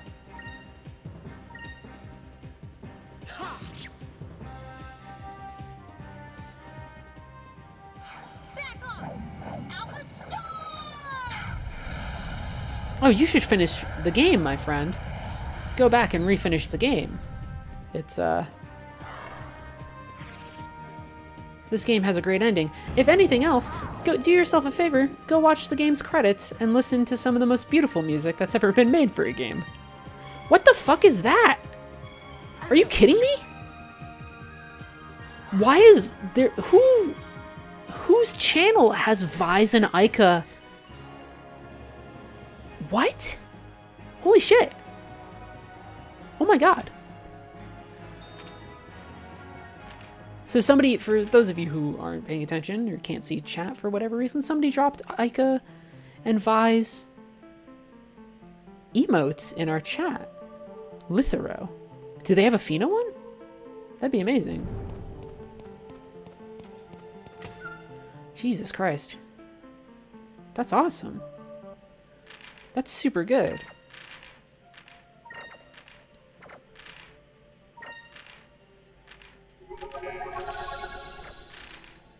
Wow. That's rad. That's really good.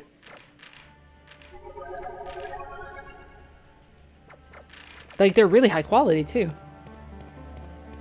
Oh, man, that's so good. Yeah, is it the Goku guy? If so, that's even better.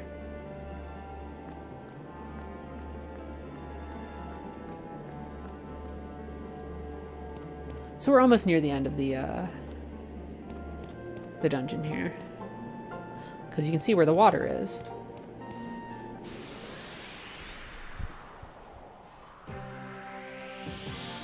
He has no interest in a Fina emote? Bullshit.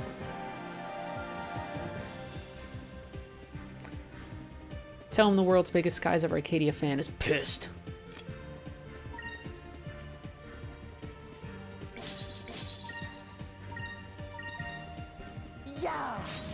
See, look at that, what happens when I actually change my elements to work. I actually probably should have changed Aika to uh, green there as well. Yeah, see, that's what I'm thinking too. You can't have just like two of them. You gotta have all of them. They're a trio. They come as a pack. It's like getting a Reese's but having no peanut butter in it or whatever. It's not a Reese's. It's just a bunch of bullshit chocolate. Oh, we got an item. Thank the Lord. Maraca shell should just be a defense item, so we'll give that to Vyse. It's so funny, it actually lowers my hit. Oh, well that's because the goggles increase my hit. That can have an effect on my crits. So maybe I give this to Aika.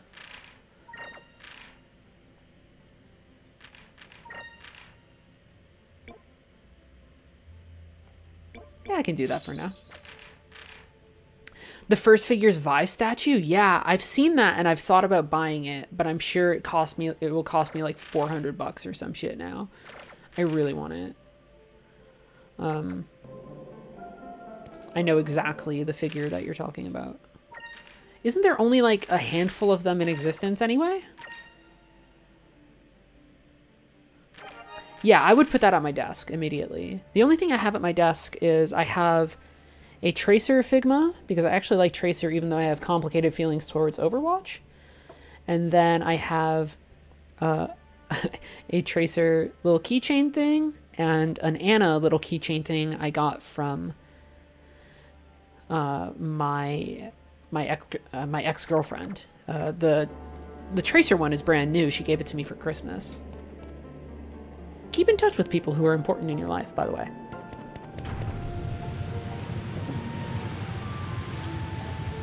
There we go. So this is going to bring us to the boss fight.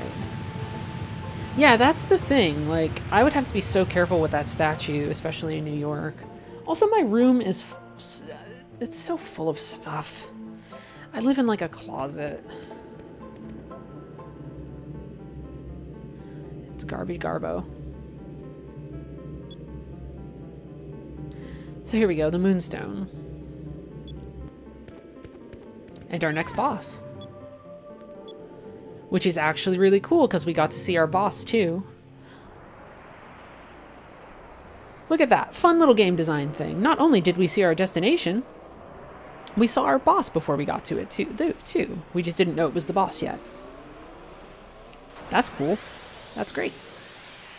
They're silver aspected though, which means I cannot do a lot of damage to them with like elemental stuff. So instead I just have to do the normal shtick of building up my spirit points. Does this thing use Eternum or anything like that? It might have access to instant death magic, which would suck.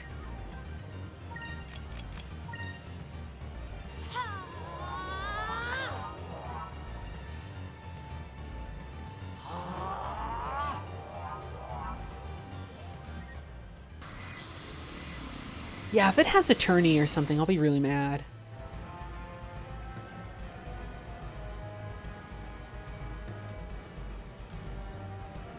One second.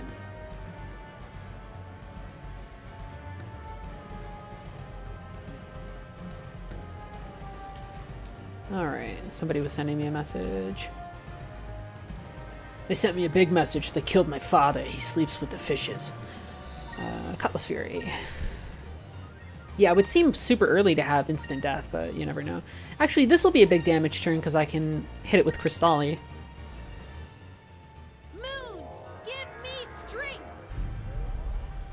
Like, that's decent damage, all things considered, for one magic spell. And now, there we go. Cutlass Fury.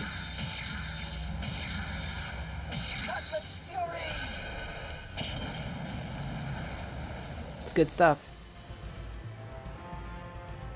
It's gonna use Blaster, though. I think this travels in a line, too, which is why it's good that it's just...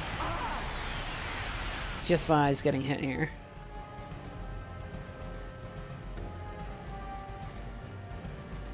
I think this is kind of an easy game, yeah, but it's never felt like a simple game to me. I'm actually going to use a Sacres Crystal on Vyse now.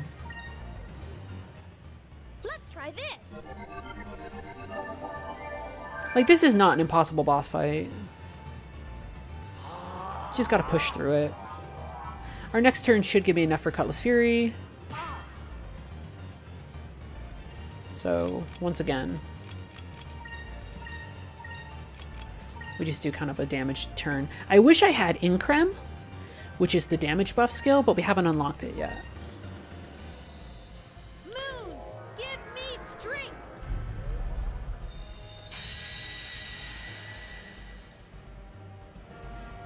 But this should take this thing down to about half health.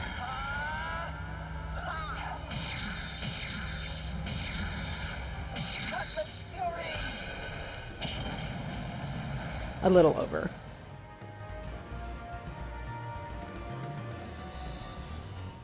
Counterattack? Thank you, baby. Thanks, Vyse. I didn't somehow get Increm on here, did I? No. He knows Sacri now, so if I really need to heal...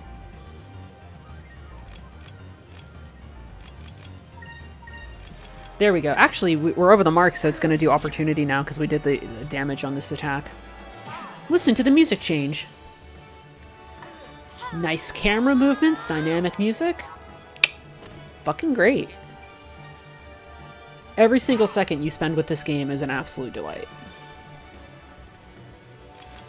I've never played a game that I enjoy more moment for moment, except maybe. Oh, I don't have a magic drop. Do I still have a magic drop? No, I don't. Except maybe like a Devil May Cry game or something for raw enjoyment.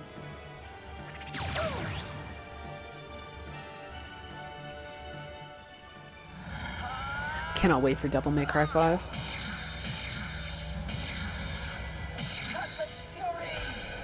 Yeah, so a handful of turns and we'll get this done. And we'll know, so the thing I didn't do when it attacked me last, so now it's going to do a target search. And assuming it's going to attack Vyse, I'm actually going to defend. And in the meantime, I'm going to cure him back up to basically full health. Let's try this. It's possible that he attacks Aika here. He is. That could knock her out.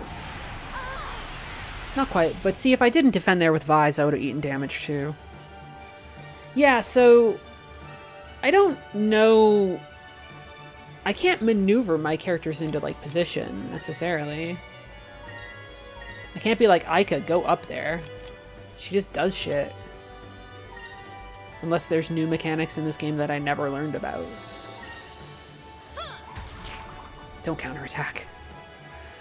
Resident Evil 2 Remake is going to be dope as hell too. I cannot wait for Mr. X to like choke me to death.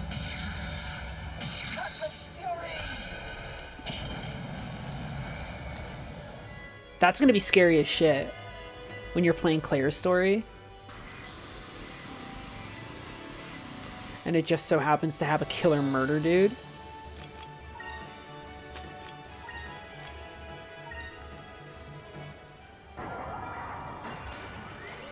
This might kill Aika.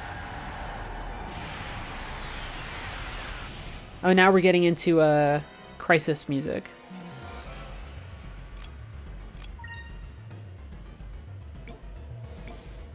Yeah, I guess I'm going to burn the magic on Vyse to do this here.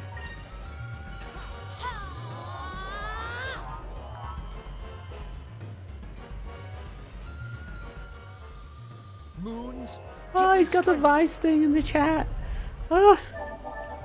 oh, I love it. Come to all my streams when I play through this, please.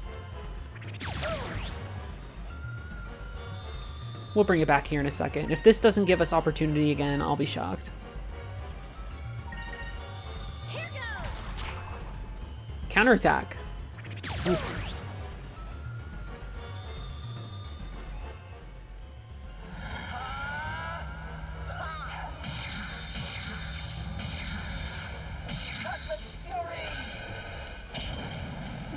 Right, so one more, one more time. Would a Skies of Arcadia remake be a good idea? I don't think a remake would be what I would want. Uh, a remaster, sure. This could actually end the fight. Yeah, wow, nice counterattack, Vyse. Holy shit.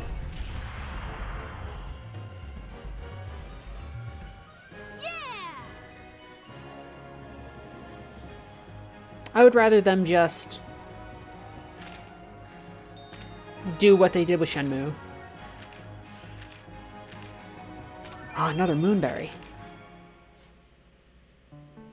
There's like, I'm sure there's some sort of reason, like a monetary evaluation thing, about why they're not putting this game out there, but they, like, what the fuck?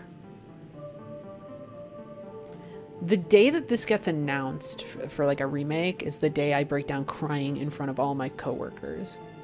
You have no fucking idea. Um, oh my god, it would just. It would destroy me. It absolutely.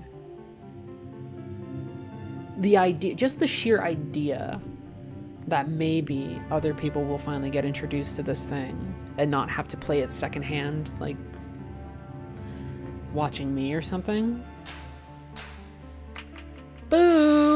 Yeah. Good stuff. We got the raw moonstone.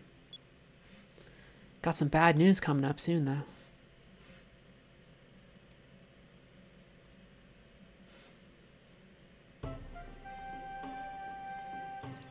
This is a JRPG, and it is a very nice hometown.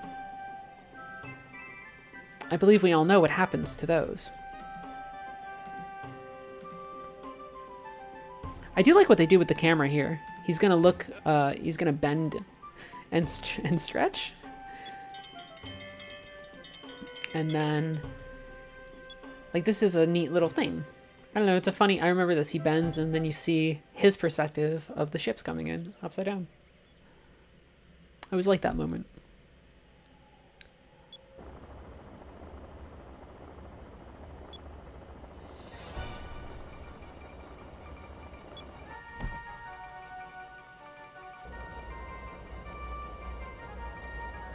But here's the thing. It's not it's not going to be this thing where it's like my hometown was slaughtered and everything's done. Uh Vyse and Aika bounce back from this very easy easily. They're like, "Hey, let's go help people and save them." And it's great. And also, I think this is the first time we see Galcian.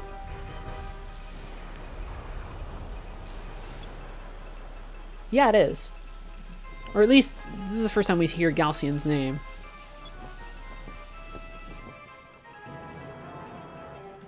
Yeah, so this is Galcian and Ramirez. I have complicated thoughts about Galcian and Ramirez that we will get to in time. Uh, Galcian is a very good villain. Ramirez, also a very good villain.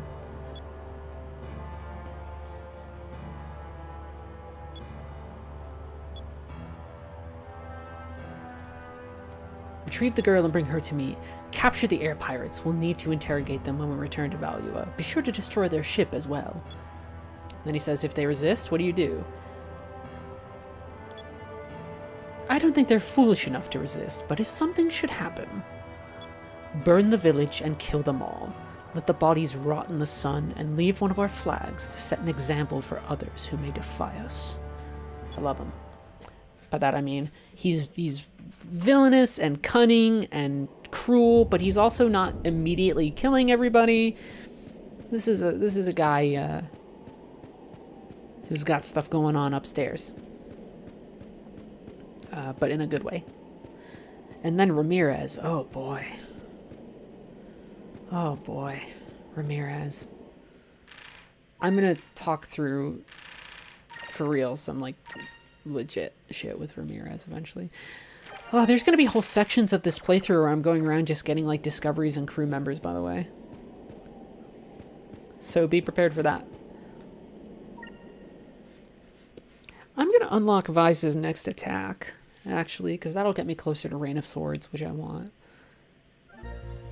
Oh, actually, well, here's the thing. If I save the Moonberry now, friends friends who have played the game before, if I save the Moonberry now, um, which way am I going again? Yeah, this way. Could I because Drachma doesn't start with his special attacks, right? And if I get Drachma soon, I might want Tackle as soon as possible. So. But Rain of Swords is a very good attack.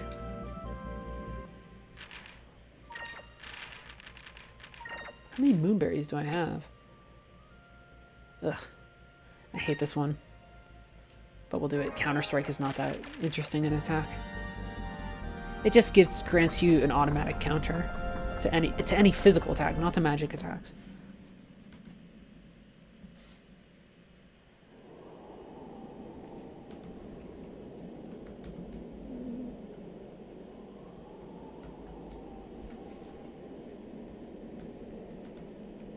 All right. Let's pick this up.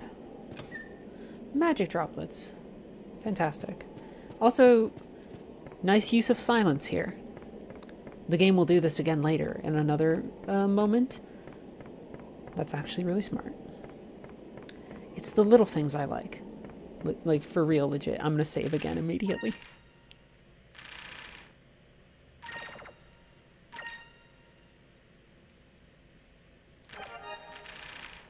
Sure I can get another Moonberry pretty quickly after Drachma joins. So I don't need... I need Tackle for the Executioner battle. I don't need Tackle for everything leading up to that.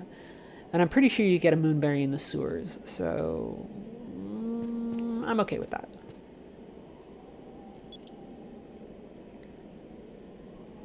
The thing about Rain of Swords is that it do, it gets a little bit outmoded by the fact that, like, when you get Lambda Burst. Um, just because Aika's area of attack abilities are um,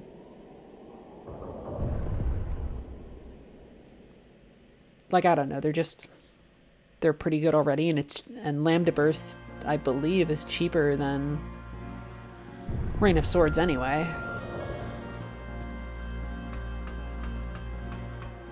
But whatever, I had the spare Moonberry. Where's me mom?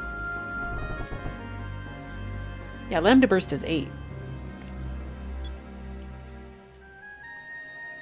I think it, I think Lambda Burst is going to cost me two Moonberries, though.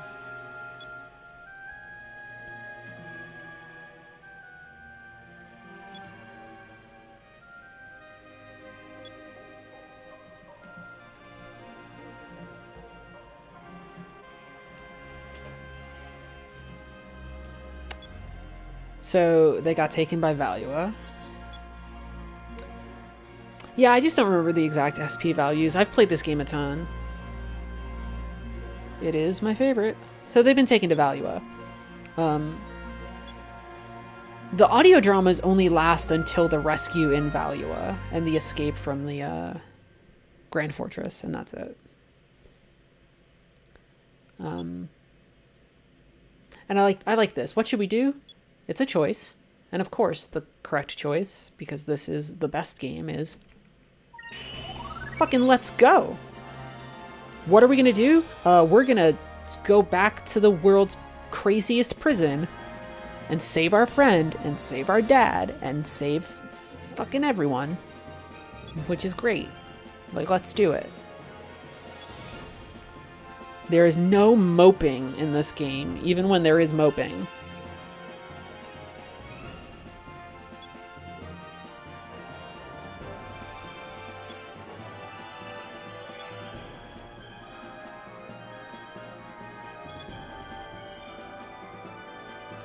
And she's smart too. The mom is like, hey, don't just rush. Like, plan a little bit, make sure you're set and ready for your journey. Like, it's smart. I don't know, man. Like, this game's fucking good. It's too good. Gorgeous, gorgeous.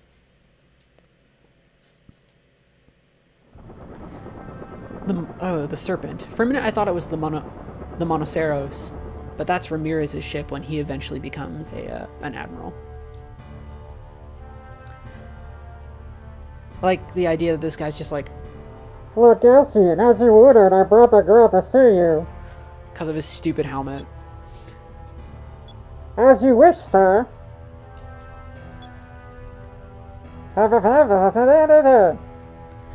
What did you say? I said I think if you can for you, sir.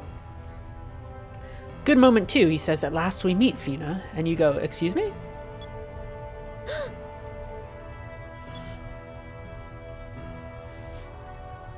Supreme Commander of the Imperial Armada. I love this nonsense. Like his big ass cape. There are two sides to Valua. There's like all the shit that happens with Galcian and some of the and some of the admirals, and then there's like all the foppish aristocrats, which is just Alfonso and to an extent Empress Theodora.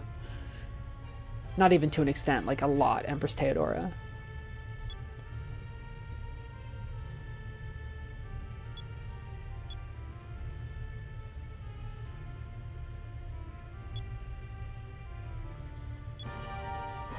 Look at how good some of these airship designs are. They get even better. Don't worry. It's going to take us a little bit to get to airship battles, though. Um, a bit perturbing. But actually, you know what? I'm going to save the game because I think this is. I think this is where we stop for today, friends. Um, I'm going to start saving these on our Twitch channel. So if you, for whatever chance, um, miss uh, a showing of this, you can watch it. I recommend going back and watching some of my Metal Gear playthroughs if you want to see a thing where I do a lot of criticism, but I'm also really enthusiastic. And unfortunately, uh, my gameplay's a little off in those ones, but you know, whatever. Um, I should have my retrospective of Metal Gear 2 by the end of the month uh, January. Um, and we'll keep going with that series. And eventually, I'll find a way to metabolize all my thoughts about this and actually write about this game. But I want to share this with you. Um, this game is not just something I think is a good video game. Um, it is quite seriously um, probably the piece of media that changed my life the most outside of like shit like the Bible.